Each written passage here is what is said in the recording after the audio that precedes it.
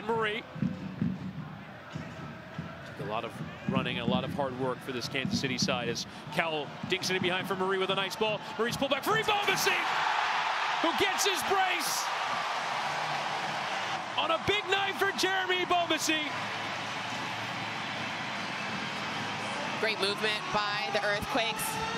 I want to make sure we take another look at this one because I thought Paul Marie was perhaps offside on the service.